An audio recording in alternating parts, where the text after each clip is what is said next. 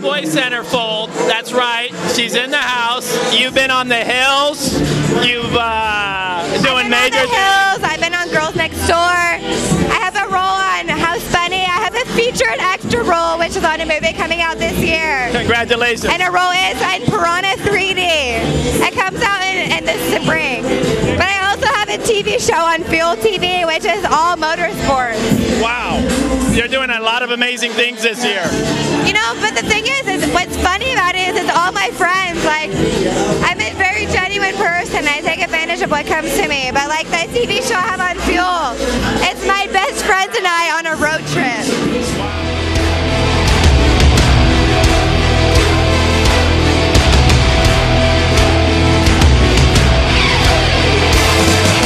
You yes, I am from Salinas.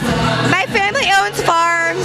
I go to the Artichoke and the Gilroy Garlic Festival every year. You're going to be there this year? I will be there this year, and I will also be at the MotoGP because I work on bikes.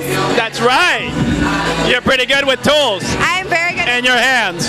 Well, I mean, they go hand in hand. Are you doing any clothing lines? I know you got your own website. Well, I mean, I have a website. It's getting ready to come out.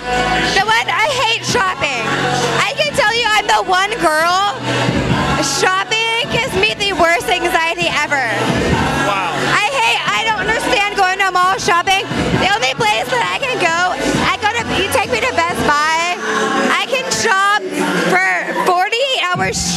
You like electronics, huh?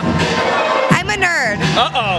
If you I'm don't know, she's kind of nerdy. Yeah, I'm a bit of a nerd. I play Xbox 360 live. Xbox, not PlayStation 3. What do you? Xbox. Well, I mean, I have every single game system from the Atari up to the Wii, but I play Xbox 360 live, Call of Duty. if you could choose, would you rather be ugly or rich? I would rather be ugly. Of the guys. I've always been one of the guys. I have, this is one of the first pair of heels I've ever owned. Wow. Yes, I have a pair of Vans to match every cocktail dress I own to walk the carpet. I grew up hard in a hard time. I have an older brother. I was raised by the guys. I would rather be broke and happy than rich and miserable.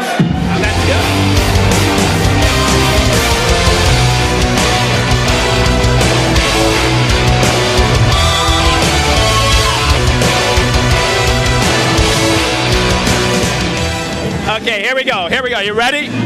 Have you ever been in a threesome? Yes. Beautiful, gorgeous, smart. She's got it all.